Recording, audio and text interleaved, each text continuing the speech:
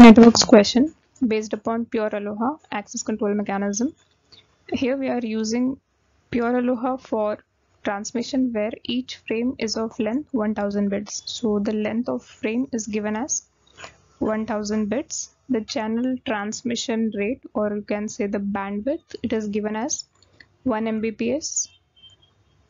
And here it is 1 megabits per second not the bytes the aggregate number of transmissions across all the nodes including the new frame transmissions and the retransmitted frames due to collisions. So here we don't have to consider the retransmitted frames uh, once again. They are already included in this. So this thing is modeled as a Poisson process with a rate of 1000 frames per second which means in one seconds there are in total 1000 frames being generated and that includes both the new frames as well as the retransmitted frames. So if in one second we are having this much we have to actually determine the throughput. The definition has been given. It is defined as average number of frames successfully transmitted per second. So this 1000 is the number of frames we are trying to transmit or we are generating actually in one second. But throughput will be the number of average number of frames that are successfully transmitted per second. So that is what we need to find out. So coming here. In one second we are generating thousand frames. So in one transmission time in one unit of transmission delay what is the number of frames that we'll be transmitting? Let us find out that.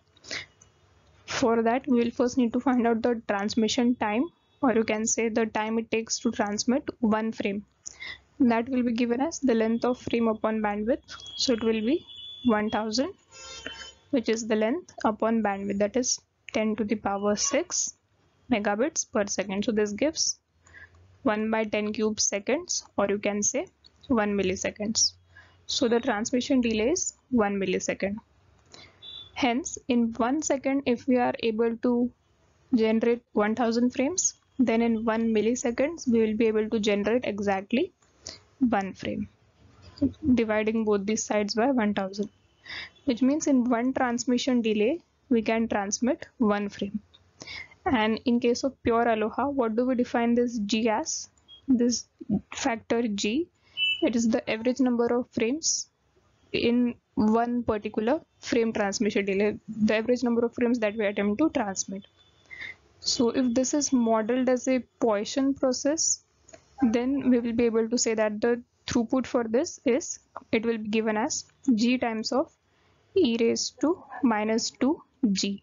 And for this case the value of g is simply 1 just because in this case the transmission time is 1 so the value of g also becomes 1 for this pure aloha and hence if we calculate the value of this it will become g which is 1 then that times of e raised to minus 2 then this g is again 1 so this is simply 1 by e square.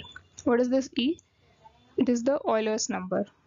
You can say the Euler's quotient or that thing whose value becomes 2.7 something. So when we do this e squared and after calculating this thing it turns out to be 0.1354 something and we are asked this was for one millisecond or for the one transmission time itself but we want throughput which is defined in per second.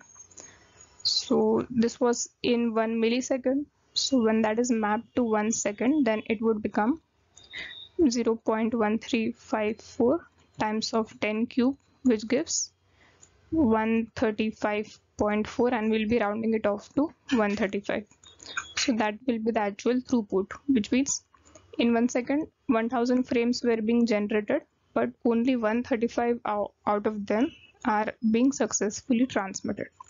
So throughput for this pure aloha system would become simply 135 so that would be the answer